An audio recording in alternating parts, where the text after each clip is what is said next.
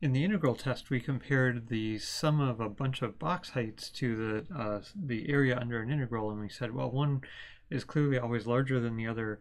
Uh, and now we're going to take that idea of comparing two things where one is always larger than the other and do both of them for sequences instead of a sequence versus an integral. So um, we we are doing a direct comparison test, and it works exactly the same for sequences and series as it did for integrals back in that other chapter when we were integrating to infinity. Um, here I've drawn the uh, the sequences as smooth curves just because it's easier to draw and kind of gets the point across uh, more readily. Um, so if our new, if we have some new sequence that's always bigger than the original, and we'll talk in a sec how can we get that new sequence that would always be bigger than the original, uh, or how can we get a new sequence at all to compare to, to compare the original to. Um, so suppose we're on this row, suppose the new sequence is bigger than the original, and suppose the new sequence converges, or the new series converges, what can we say um, about the original? Can we say that the original converges, or not not sure. Well, here this is saying that the original um, sum, the original series, is less than or equal to some finite number. Um, and so the uh, the original sequence must converge as well.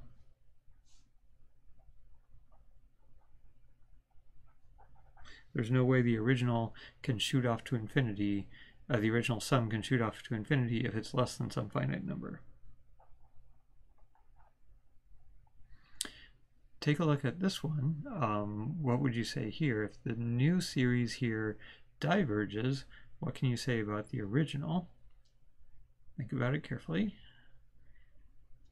In that case, we're saying the original is kind of less than the new. It is less than the new, but the new is infinity. So being knowing that you're less than infinity doesn't really help because some infinities are bigger than others. So you could still be infinity even though you're less than some other infinity. So here there's no conclusion. Um, that maybe the new is so much bigger than like maybe the original is finite and the new is just so much bigger that its sum is infinite. Or maybe the new is just twice as big as the original and if the original was infinity the new will, will also be infinity. Take a second think about this row. Think about what you can put here what you can put there. Maybe even pause the video write down for yourself what your thoughts are. And then what do you think? If the new is less than the original and the new con sum converges, well, maybe the new is some finite number, but the original could be way bigger than that, could be infinity. So there's no conclusion that we can draw there. Um, and what if the new sum diverges? Then the original is bigger than that infinity. Um, so the original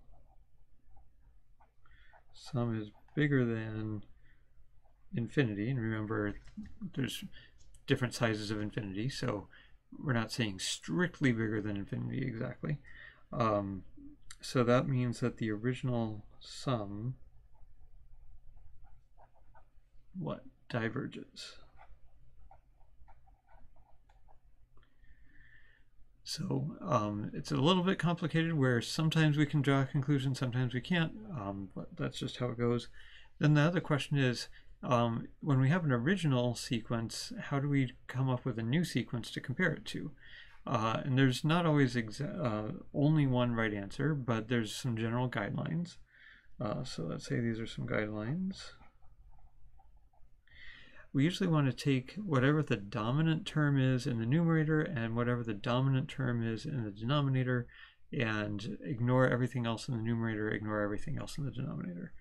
So we'll say ignore all but the dominant terms and we'll say what that means in just a sec.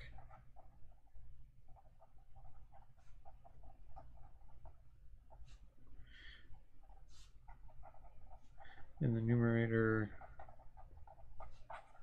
and denominator separately. So what does it mean to be dominant? It means grows faster than anything else.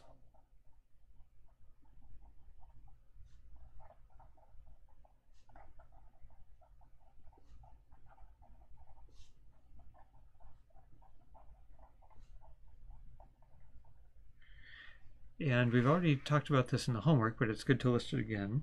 Um, let's make a list of, um, uh, let's just say, uh, I'll do these in random order, and you can try to remember what order they go in.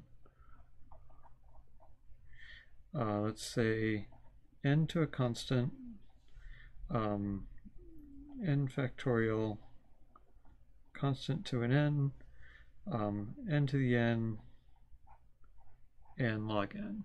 So what order do those go in? Let's say which one grows fastest. And then what grows second fastest and so forth. Take a sec to think about that and remember. Uh, here we're going to say this is a constant above 1. Because if the constant is below 1, then this term shrinks rather than grows. Okay, so which of these grows fastest? Oh, I wrote n factorial twice, didn't I? Let's say n to the n. So n to the n grows fastest. Like if it's 100, then it's 100 times itself 100 times. Um, where with n factorial, all the initial values, like the 1 times 2 times 3 times 4, stay the same, and then you just multiply by 100. Here, all the terms go from 100 to 101 and 102. Uh, so that's the fastest, and then n factorial, and then constant to the n, and then n to a constant, and then log n. I wrote natural log here, but really any log. They all grow at the same rate, just multiplied by some constant. So if you see an n to the n, that's clearly the dominant term. n factorial uh, is the next dominant, you could say. Which of these relate to geometric series and which of these relate to p series? Take a think take take a sec to think about that. So constant to the n is like r to the n. Um, so we could say it's related to geometric. Um, and p series is like n to n squared, right? Like sum over sum of one over n squared is a p series. Um, um, all right. Um, where do we tend to see factorials in sequence terms? We actually saw them a bit when we were talking about Taylor polynomials. Um, so that's a reason why we're listing that there. And then n to the n hardly ever occurs, but uh, sometimes math people just like testing themselves with new new ideas.